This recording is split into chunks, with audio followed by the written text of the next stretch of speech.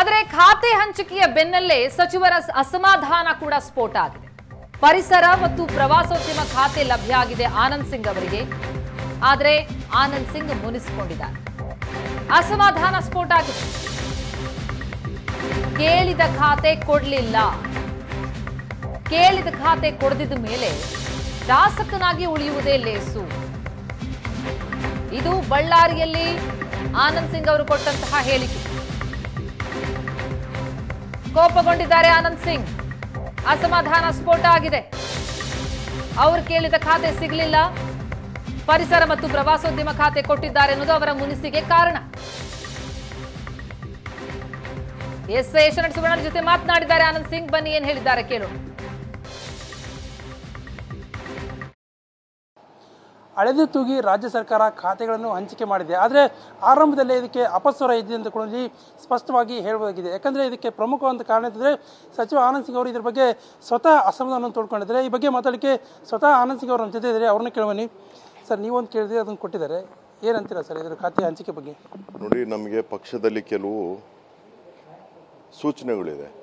ಬಹಿರಂಗವಾಗಿ ಪಕ್ಷದಲ್ಲಿ ನಡೀತಂಥ ಏನೇ ಒಂದು ಅಂತರಂಗದ ವಿಚಾರಗಳು ಮಾಧ್ಯಮದ ಮುಖಾಂತರ ತಾವು ಹೊರಗೆ ಹಾಕಬಾರ್ದು ಅಂಥೇಳಿ ಇವತ್ತು ನಾನು ಬೇರೆ ಸಂಪುಟ ಖಾತೆಯನ್ನು ಕೇಳಿದ್ದೆ ನಾನು. ಇವತ್ತು ನನಗೆಲ್ಲೋ ಪರಿಗಣಿಸಿಲ್ಲ ನಾನು ಕೇಳಿರೋದನ್ನು. ನಾನು ಮತ್ತೊಮ್ಮೆ ನೋಡಿ ಮನವಿ ಮಾಡಿಕೊಳ್ಳೋದು ನನ್ನ ಧರ್ಮ. ಪಕ್ಷ ತೀರ್ಮಾನಕ್ಕೆ ಖಂಡಿತವಾಗ್ಲೂ ನಾವು ಬದ್ಧರಾಗಿರ್ತೀವಿ. ಆದರೆ ಪಕ್ಷದ ಜೊತೆಗೆ ನಾವು ಕಷ್ಟಪಟ್ಟು ಶಾಸಕರಾಗಿ ಜನರ ಸಮಸ್ಯೆಯನ್ನು ಪರಿಗಣಿಸಬೇಕಾದಾಗ ನಮ್ಮದೂ ಆ ಹಕ್ಕನ್ನು ನಾವು ಅವ್ರ ಹತ್ರ ಮನವಿ ಮಾಡ್ಕೊಳ್ತೀವಿ ಮನವಿ ಮುಖಾಂತರ.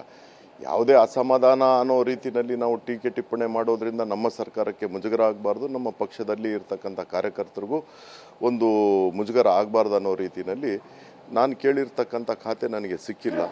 ನಾನು ಕೇಳಿದ್ದೆ ನಾನು. ಯಾಕಂದರೆ ಹೋದ ಸತಿ ನಮ್ಮ ಹಿರಿಯ ನಾಯಕರಾದಂಥ ಯಡಿಯೂರಪ್ಪನವರಿದ್ದರು ಈಗ ಅವರು ಹಿರಿಯರಾದಾಗ ಇವರು ಒಬ್ಬ ಹಿರಿಯ ಸಚ್ ಮುಖ್ಯಮಂತ್ರಿಗಳು ನಮ್ಮ ಬೊಮ್ಮಾಯಿನವರು. ಹಾಗಾಗಿ ನಾನು ಬರೋಕ್ಕಿಂತ ಮುಂಚೆ ಕೇಳಿದ್ದೆ ನಾನು, ಇಂಥದನ್ನು ನನಗೆ ಕೊಡಿ ಅಂಥೇಳಿ. ಆಯಿತು ನೋಡೋಣ ಅಂತೂ ಹೇಳಿದರು. ಆದರೆ ಇವತ್ತು ನನಗೆ ನಿರಾಸೆ ಅಂತೂ ಆಗಿರೋದು ನಿಜ. ನಾನು ಮನವಿ ಮಾಡ್ಕೊಳ್ತೀನಿ ಇನ್ನೊಮ್ಮೆ ಹೋಗಿ, ಯಾಕಂದರೆ ಇವತ್ತು ಮುಖ್ಯಮಂತ್ರಿಗಳು ಹೇಳಿದರು, ಎಲ್ಲರೂ ಸಚಿವರು ತಮ್ಮ ತಮ್ಮ ಜಿಲ್ಲೆ ಹೆಡ್ ಕ್ವಾರ್ಟರ್ಸ್ನಲ್ಲಿ ಹೋಗಿ ಕರೋನಾ ಬಗ್ಗೆ, ಮತ್ತು ಅಲ್ಲಿರ್ತಕ್ಕಂಥ ಏನು ಬರ ಪರಿಹಾರದ ಬಗ್ಗೆ ತಾವೆಲ್ಲ ಸಭೆಗಳನ್ನು ಮಾಡಿ, ಅದು ಸರ್ಕಾರಕ್ಕೆ ಮಾಹಿತಿಗಳನ್ನು ಕೊಡಬೇಕು ಅಂಥೇಳಿ ಇವತ್ತು ನಿನ್ನೂ ಬಂದಿದ್ದೆ. ಇವತ್ತು ನಾನು ಬಳ್ಳಾರಿನಲ್ಲಿನೇ ವಾಸ್ತವ್ಯ ಹೂಡಿ ಇವತ್ತೆಲ್ಲ ನಾನು ಇದು ಮಾಡ್ತಾ ಇದ್ದೀನಿ. ರಾಜ್ಯ ಸರ್ಕಾರ ಅಂದರೆ ಬಿ ಜೆ ಪಿ ಸರ್ಕಾರ ಎರಡು ಸಾವಿರ ಹತ್ತೊಂಬತ್ತರಲ್ಲಿ ಬರಲಿಕ್ಕೆ ಮೊಟ್ಟ ಮೊದಲ ಕಾರಣಕರ್ತ ತಾವು. ಮೊದಲ ರಾಜೀನಾಮೆ ನೀಡಿದ್ದು ಕೂಡ ತಾವು. ಅದಾದಮೇಲೆ ತಮಗೆ ಸಚಿವ ಸ್ಥಾನ ಕೊಟ್ಟರು ಆದರೆ ಒಂದೇ ದಿನ ಎರಡೆರಡು, ಮೂರು ಮೂರು ಖಾತೆ ಬದಲಾವಣೆ ಮಾಡಿ ಅವಾಗೂ ಕೂಡ ಒಂದು ಹಂತದಲ್ಲಿ ಅವಮಾನ ಮಾಡಿದಂಗೆ ಆಯಿತು. ಇದೀಗ ಮತ್ತೊಮ್ಮೆ ನಾವು ತಾವು ಕೇಳಿದಂಥ ಖಾತೆ ಕೊಡದೆ ಮತ್ತೊಮ್ಮೆ ತಮಗೆ ಈ ಥರ ಈ ಥರ ಅಂದ ಪಕ್ಷದಲ್ಲಿ ಸರಿಯಾಗಿ ನಡೆಸ್ಕೊಳ್ತಾ ಇಲ್ಲ ಏನಂತ ಕರ್ಕೊಂಬಂದವ್ರು ಯಾರು? ನಿಮ್ಮ ನೀತಿ ಈ ಥರ ನಡೆಸ್ಕೊತಾ ಇದ್ದಾರೆ ಅಂತ ಸರ್. ನೋಡಿ, ಇದನ್ನ ಅವಮಾನ ಅಂಥೇಳಿ ಯಾವತ್ತು ಪರಿಗಣಿಸಬಾರ್ದು. ಯಾಕಂದರೆ ಇದು ಮನೆಯಲ್ಲಿ ನಡೀತಿರ್ತಕ್ಕಂಥ ಕೆಲವು ವಿಚಾರಗಳು, ಒಂದು ಅಭಿಪ್ರಾಯಗಳು. ಇದು ನಾನು ಅವಮಾನ ಅಂಥೇಳಿ ನಾನು ಯಾವತ್ತೂ ಹೇಳಲ್ಲ. ಯಾಕಂದ್ರೆ ಹಿರಿಯರಾದಂಥ ನಮ್ಮ ಯಡಿಯೂರಪ್ಪಾಜಿ ಅವರು ನಮಗೆ ಕೊಟ್ಟಿದ್ದರು ಯಾಕಂದರೆ ಅನೇಕ ಒತ್ತಡದಿಂದ ಆವಾಗ ಹೊಸ ಹೊಸ ಶಾಸಕರಿಗೆ ಒಂದು ಸಂಪುಟ ಸಭೆಯಲ್ಲಿ ಬದಲಾವಣೆ ಮಾಡಬೇಕಾದಾಗ ಅವರು ಹೇಳಿದರು, ನೀನು ಇದನ್ನು ತೆಗೆದು ಇದು ಬಿಟ್ಕೊಡು ಅಂಥೇಳಿ ಖಂಡಿತವಾಗಲೂ ಅವರು ಹೇಳಿದಂಗೆ ನಾನು ನಡ್ಕೊಂಡಿದ್ದೀನಿ. ಈ ಸತಿ ಈಗ ಇರೋ ಒಂದು ಹದಿನೈದು ತಿಂಗಳಲ್ಲಿ ನನಗೆ ಒಳ್ಳೆ ಖಾತೆಯನ್ನು ಕೊಡಿ ಅಂಥೇಳಿ ನಾನು ಮನವಿ ಮಾಡಿಕೊಂಡಿದ್ದೆ. ಯಡಿಯೂರಪ್ಪನವ್ರ ಹತ್ರನೂ ಮನವಿ ಮಾಡಿಕೊಂಡಿದ್ದೆ, ಬೊಮ್ಮಾಯಿ ಸಾಹೇಬ್ರ ಹತ್ರನೂ ಮನವಿ ಮಾಡಿಕೊಂಡಿದ್ದೆ. ಆಯಿತು ನೋಡೋಣ, ಪರಿಗಣಿಸೋಣ ಅಂತೂ ಹೇಳಿದರು.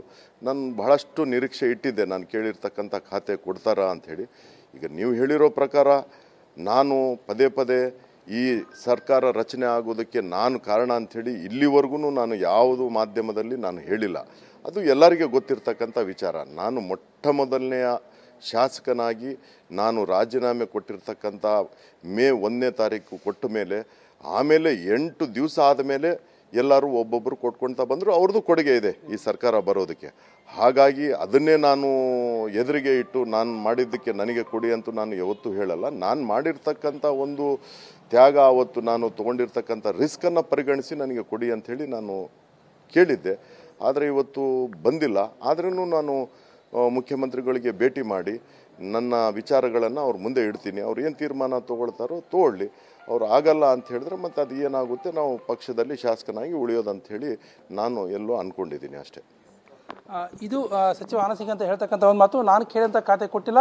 ಒಂದು ವೇಳೆ ನಾನು ಕೇಳಿದಂಥ ಖಾತೆ ನಿರ್ವಹಿಸ್ತಿದ್ರೆ ನಾನು ಶಾಸಕನಾಗಿ ಉಳಿತೀನಿ ಅನ್ನೋಂಥ ಮಾತನ್ನು ಕೂಡ ಪರೋಕ್ಷವಾಗಿ ಹೇಳೋ ಮೂಲಕ ಸಚಿವ ಸ್ಥಾನಕ್ಕೆ ರಾಜೀನಾಮೆ ನೀಡೋ ಬಗ್ಗೆ ಕೂಡ ಸ್ಪಷ್ಟವಾದಂಥ ಸಂದೇಶವನ್ನು ಇಲ್ಲಿ ಅವರು ನೀಡಿದ್ದಾರೆ. ಕ್ಯಾಮರಾ ಪರ್ಸನ್ ಶ್ರೀನಿವಾಸ್ ಜೊತೆ ನರಸಿಂಹಮೂರ್ತಿ, ಏಷ್ಯನ್ ನೈಟ್ ಸೋಲಾ ನ್ಯೂಸ್, ಬಳ್ಳಾರಿ.